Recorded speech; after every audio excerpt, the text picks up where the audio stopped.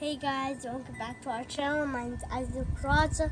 So today we're hanging out with Spike and Candy. He sent it. Can I just get Spike over here?